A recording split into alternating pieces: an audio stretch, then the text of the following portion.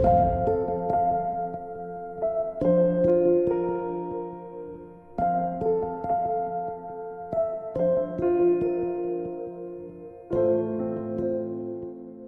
문예슬 큐레이터님 안녕하세요. 안녕하세요. 굉장히 오늘 또 곱게 차려입고 네.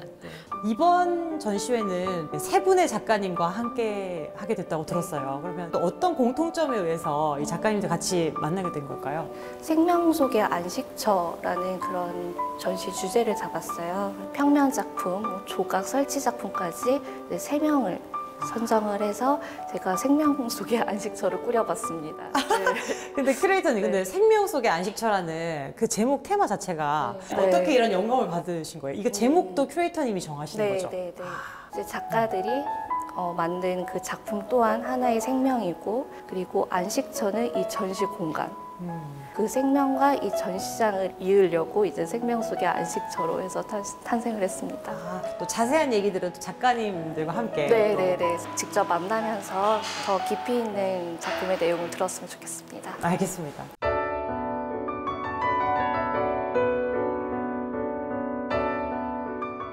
아, 작가님, 요거는 진짜 큰 작품이네요. 이 작품 이거는 어떤 건가요? 빈배 가득 밝은 달만이라는 제목의 그림인데 나는 이게 맨 처음 고래인 줄 알았어요. 엄청 큰 고래 같은 꿈을 뭐 갖고 막 이렇게 낚시를 한다. 그 노인과 바다처럼 막 그런 줄 알았는데 엄청나게 큰 거무- 그물을 던졌어. 엄청나게 큰 저수지 같은 데다가. 근데 핵심은 작가님 물고기가 없어요. 네. 물고기 왜 없어요? 뭔가 제가 하는 고민들이 해결책이나 답이 없고 항상 고민으로만 머물러 있는 게 뭔가 결론 나지 않는 생각이라고 생각해서 저기 그물 보시면 끝에 뚫려 있어요. 네. 헐 너무 아쉬워요. 너무 아니 이거 너무 짠내나. 아니 그물이 또 터졌어요. 끝이. 네. 그래서 뭔가 허무하기도 하고 네, 그런 엄청. 큰 꿈을 던진 거예요. 인생의 막 이상과 꿈과 희망을 막 이루어 보자. 진짜 청원의 꿈을 안고 막 던졌는데 그물 다 구멍 나 있고. 이 당시에 그 미래에 대한 고민도 굉장히 많았고 그래서 그 정말 모든 고민을 담아서 그렸던 그림입니다.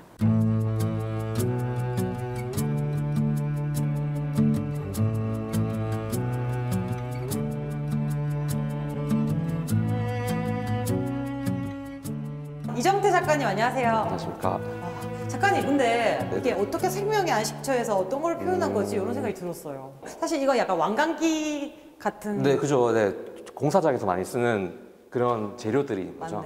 네. 네. 네. 선생님 보시기에 지금 이 선이 직선처럼 보이세요? 곡선처럼 보이세요? 이거요? 네, 이 선이요? 네. 100% 곡선이죠. 제 위치에서 보면 이게 정확하게 직선이에요. 대박 사건. 네, 지금 여기서 봤을 때는 어떠냐면은 네. 이 선이 동그랗지 않아. 네. 이거 완전 딱 직선이에요. 네.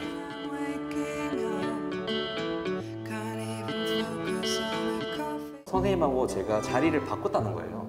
남이 돼보는 상황이 되는 게 저한테는 더 중요한 과제였던 것 같아요. 자리를 바꿔보니까 그 입장이 돼 보니까 네. 직선을 얘기했다는 거. 네. 그 사람은 그게 와닿네요.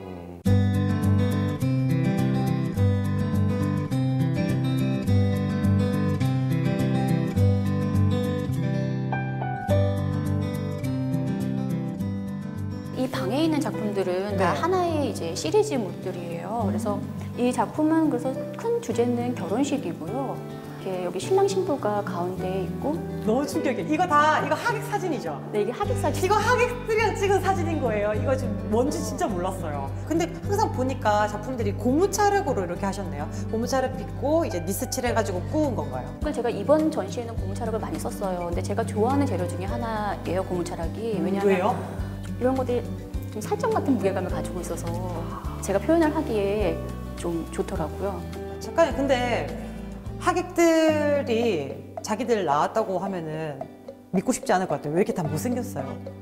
어, 제가 보기에는 그렇게 못생기진 않았지만 충분히 괴기스럽다라고는 느껴질 것 같아요. 사실 이 인물을 여기서 되게 순간적인 것이 좀 중요해요. 왜냐하면 사실 이게 죽은 분들도 많고 이게 45년 전에 정지된 사진이지만 재료가 가지는 이런 순간성과 그리고 사실 이 시선들의 맞춤, 눈 맞춤 이제 그런 것들이 표현이 되어서 네 저는 이 정도에서 이제 이 작품을 마무리를 지은 그러니까 그 순간에 그 사람의 명암과 빛과 구도가 그 순간 다 나와버리기도 하는 것 같아요. 어떤 사람 거의 뭐 푸른빛 얼굴을 띠고.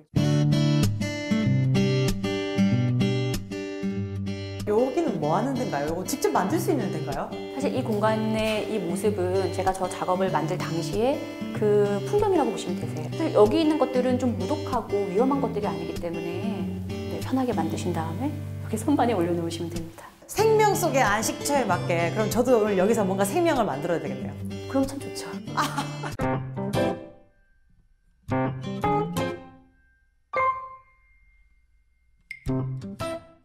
작가로서 난 너무 부족해요. 난 너무 현실주의야. 짜장면 짜장면 왜 짜장면? 짜파구리 아시죠, 여러분? 요새 지금 사관왕 했잖아요, 지금 기생충. 아, 그렇죠. 거기서 제가 정말 영감 있게 본 게 뭐냐면 바로 짜파구리였어요. 뭔가 생명이라고 하면 저에게는 좀 활력을 줄 수 있는 거. 사실 밥심. 네, 먹고 나면 힘이 빡 생기기도 하니까 요거를 짜장면으로 표현해봤습니다.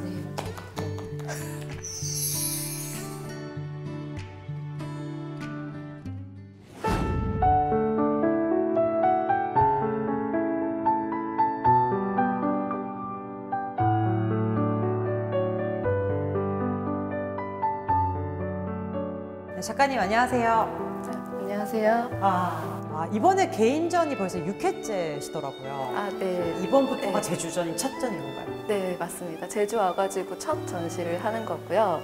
어, 예전에는 서울에서 그리고 순천에서 해서 이제 5회까지 진행했습니다.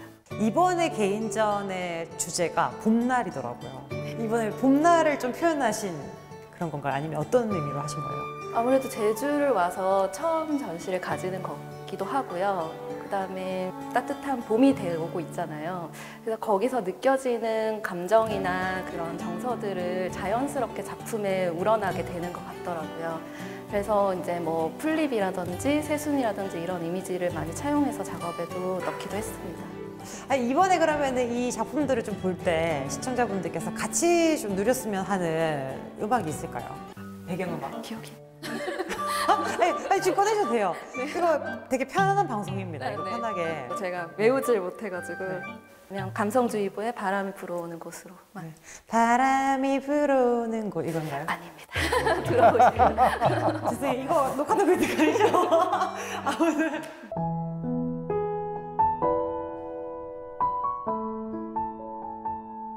제가 평소에는 좀 작은 사이즈로 작업을 많이 하는데 이번에 특별히 이번 전시를 위해서 좀 사이즈를 크기를 많이 키워서 제작을 했습니다.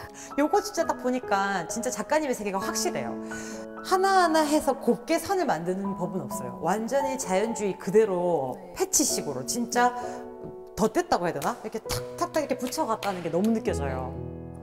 이거 만드는데 얼마나 걸리셨어요? 형태만 제작하는데 한 일주일 정도 걸렸어요. 꼬박 일주일을 몰입해서 하시고 거기에다가 조금 힘들게 보이는 게 펜 같이 생긴 붓으로 다 그으신 거잖아요. 네.